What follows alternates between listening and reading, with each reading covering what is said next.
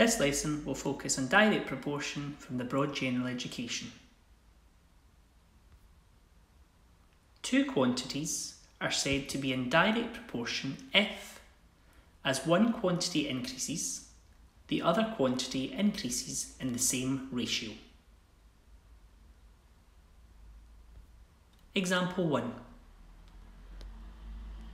Five cars have a total cost of £48,250.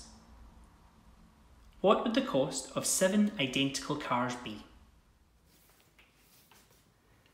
In our first example, we want to find the cost of seven cars. Now, we've been given the fact that five cars have a total cost of 48,250.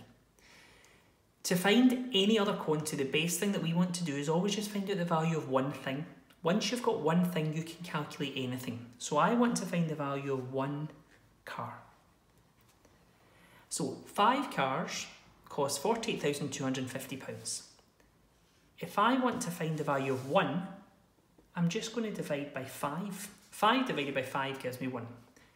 Whatever I do to the left, I'm going to do the exact same thing to the right, so I'm going to divide this by 5. So we've got 48,250, and I'm going to divide by 5. So the value of one car will be £9,650. Now that I've found one, I can find absolutely anything. In this instance, we're looking for seven cars. So to go from 1 to 7, we simply multiply by 7.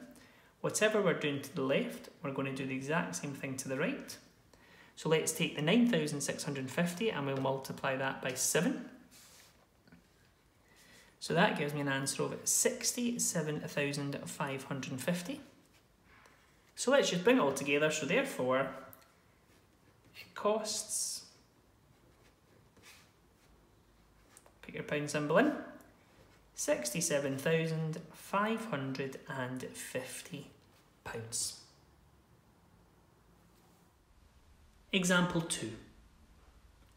Nine single train tickets cost £29.25. Find the cost of four single train tickets. In our second example, we've been given the cost of nine train tickets at £29.25 and we want the cost of four.